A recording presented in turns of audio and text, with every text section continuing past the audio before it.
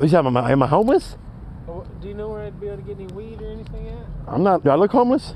Uh, I mean, you were drinking the beer, so Oh, I mean, you mean you're homeless if you drink a beer? no, no, no. Uh, what you drinking? Oh, energy drink. Uh, I just figured I'd ask, buddy. I didn't mean no. if I was homeless. I just. I, I'm not. Confu- I'm confused. I thought you might be, a, be able to find some weed or something, man. Oh, some weed. There's a girl. I mean, there's a dude around the corner there. uh, Right, behind that other 7-Eleven. If you, you suck, he's, I think you- people suck dick for weed over there. I'm not saying you, but I know women do. What's he look like? Uh, he's a some black dude, skinny black dude.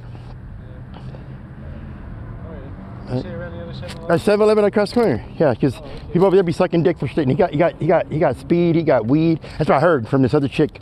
She told me shit going on. I don't know.